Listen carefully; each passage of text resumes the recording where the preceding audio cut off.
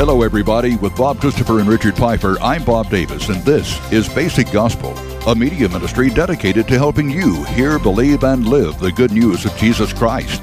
Today, we continue in our study through the Simple Gospel Simply Grace Study Guide. We'll be picking up on Chapter 4 with Chapter 4 of the crossover on page 25. And with a quick reminder that the phone lines are not open today, we'll get underway. It's Basic Gospel, everybody. Now, here's Bob Christopher. Well, thanks, Bob. Uh, we're in a very exciting chapter called The Crossover, and it really answers that question what happens to us the moment that we're saved?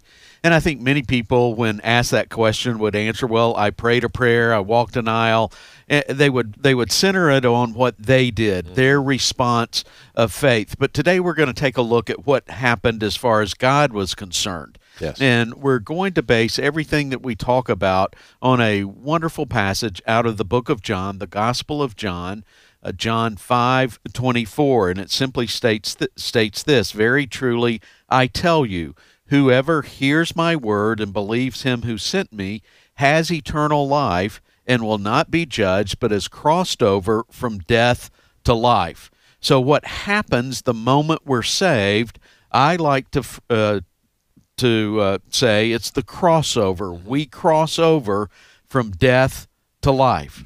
That's how God sees it. Now, we only look at the response of faith. We are not really sure of all of the intricacies of God's work in our lives.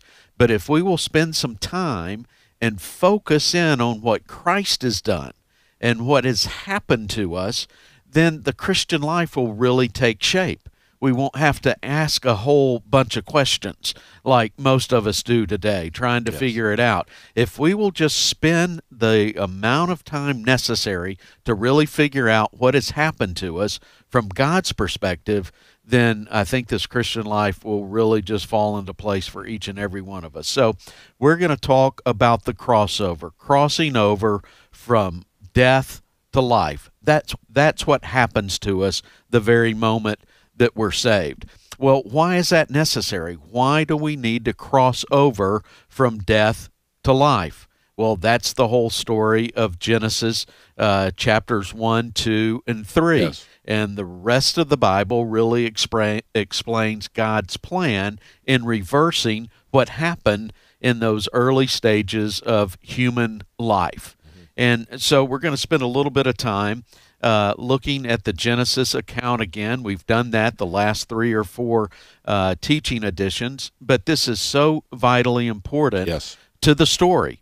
So if we will see what happened to Adam and Eve, then what happens to us as far as God is concerned and crossing us over from death to life will really start to make sense.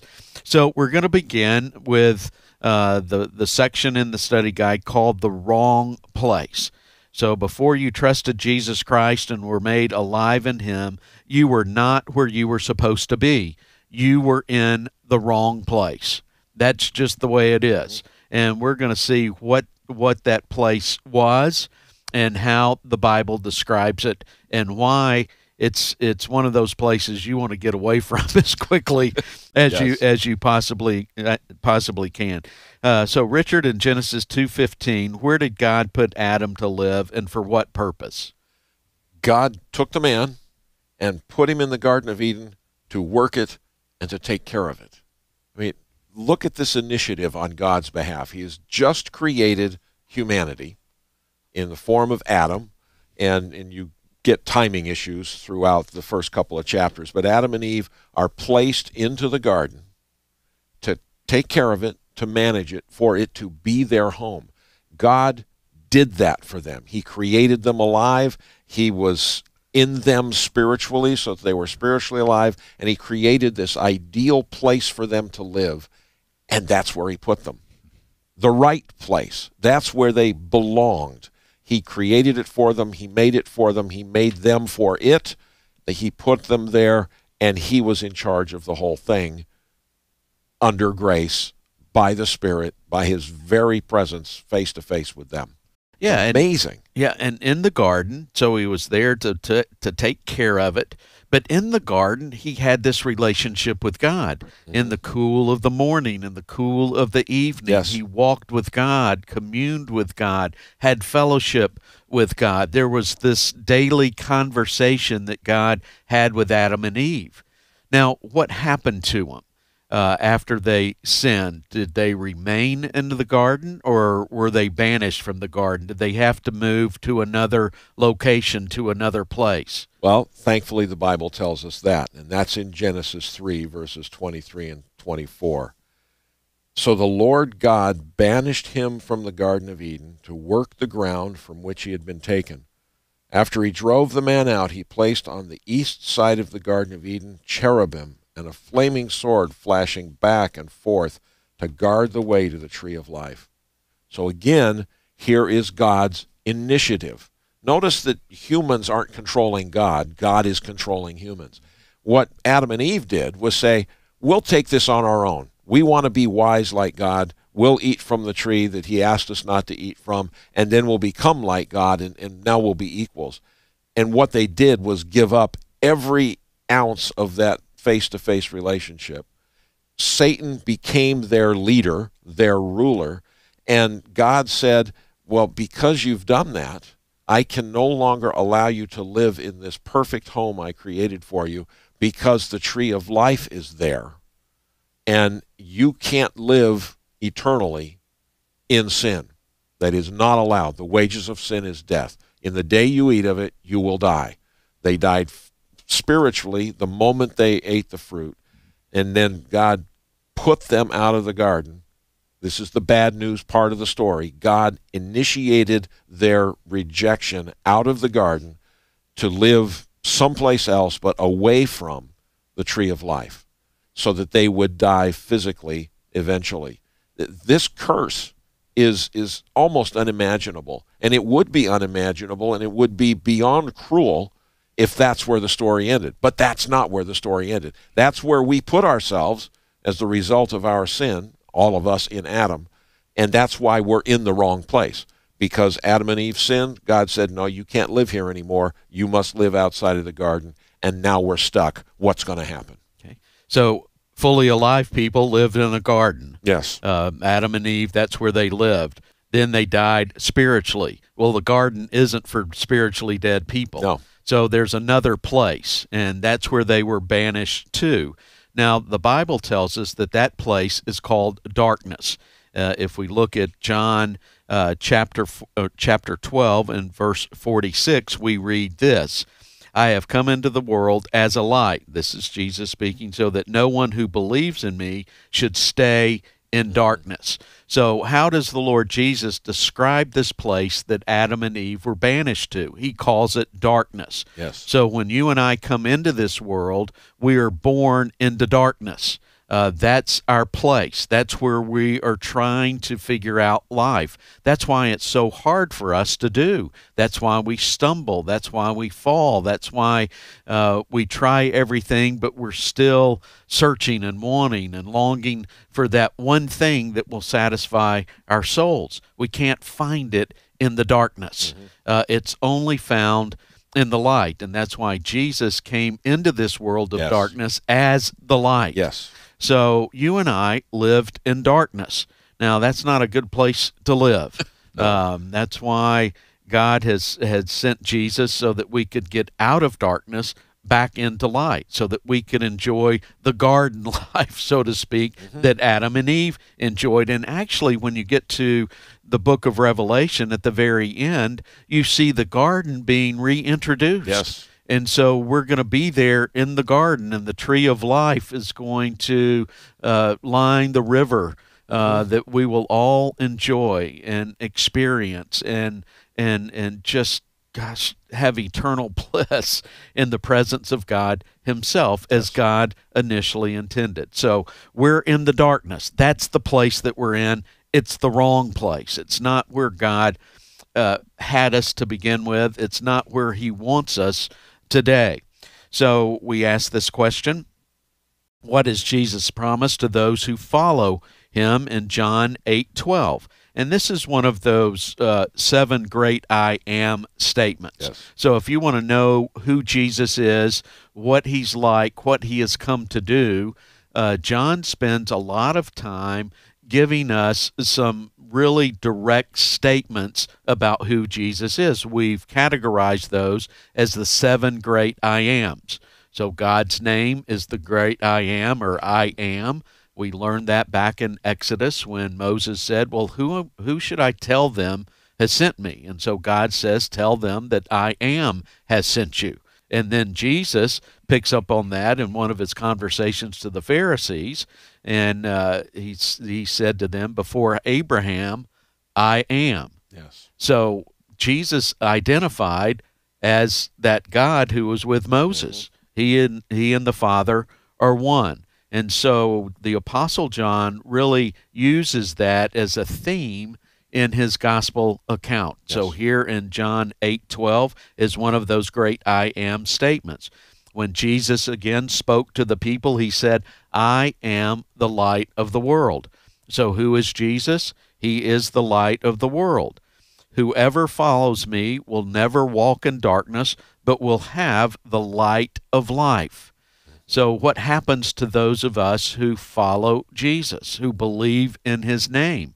We are transferred out of darkness And into, into life. light. So, we go from the wrong place to the right place. That is the work of Jesus on our behalf. So, as far as we're concerned, we just followed Jesus. He's the light of the world. We're in darkness. We follow him and we start figuring this life thing out. But from God's vantage point, we're taken out of one place and placed into another, out of darkness and into light. So, how did Peter describe this? Um, in 1 Peter 2 9, uh, the apostle wrote this, But you are a chosen people. Now, that's good news in and of itself. Yes. You are a chosen people, a royal priesthood, a holy nation, God's spe- special possession. So, if you're a believer in Christ, this is what applies as far as you're concerned. This is who you are. You are a chosen people, a part of a royal priesthood, part of a holy nation, part of God's special possession, that you may declare the praises of Him who called you out of darkness into His wonderful light. Yes. So, what does the gospel message do? It calls us out of darkness. It meets us where we are, mm-hmm. it meets us in the dark, and then draws us away from the dark and places us firmly in the light of Yes. God's goodness and love and mercy and grace. And it's God's initiative to do that. He's the one who chose to do it. He's the one who brings it about. He's the one who calls us, grabs us by the hand, and leads us back into that light. Absolutely. Well, guys, good stuff. And friends, you're listening to the Basic Gospel Friday touch, uh, teach, uh, teaching series through the Simple Gospel Simply Grace Study Guide. Of course, the study guide is available along with each week's study notes at basicgospel.net slash teaching. And uh, that's, of course, our main website, basicgospel.net, followed by a slash and the word teaching. Also, we have a gift for you when you sign up for ministry emails. It's our ebook, Forgiveness. The Door to Life, a powerful resource to set you on the path of joy and freedom in the Lord Jesus Christ. Get your free electronic copy today by clicking subscribe at basicgospel.net. Back to our study, guys. Bob Christopher is here, Richard Piper. My name is Bob Davis. We thank you for joining us, everybody. And as I said, let's go back to our study now. This Well, is just good stuff, man. It is good stuff. Well, one last question in this section, the wrong place, and it's based on Colossians 2:13. So Adam and Eve died spiritually mm-hmm. And they were banished from the garden. They were placed in darkness. That's where all of us uh, are born in the dark. And we we see Jesus, he's the light of the world. We follow him. That's the faith response. By grace, God initiates, he sends Jesus uh, into our dark world.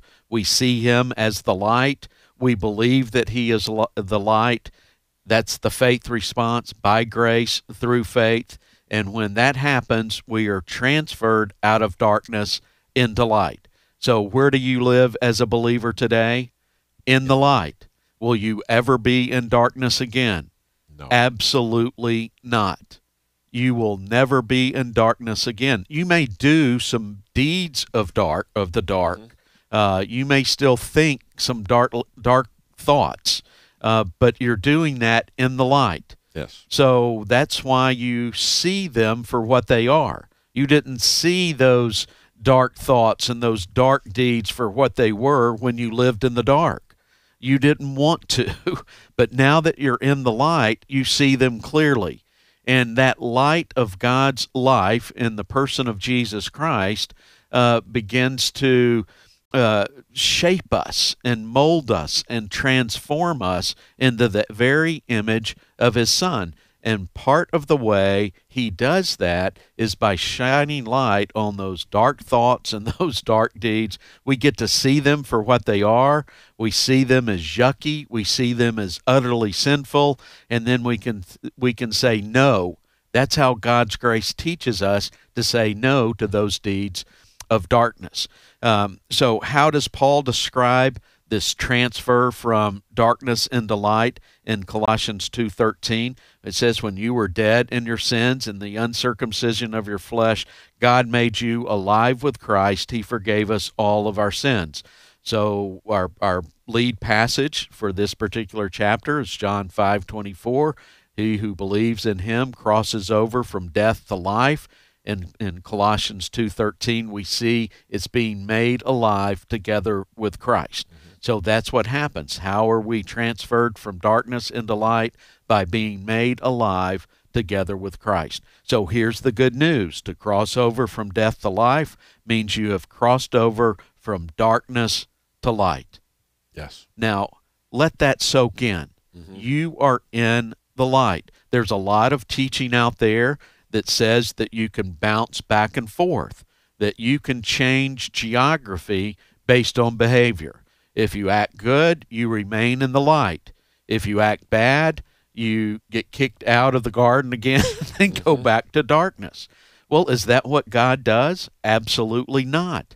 The cross ensures that once we have been transferred out of darkness into light, that is our permanent home. We will never, ever, ever go back to darkness.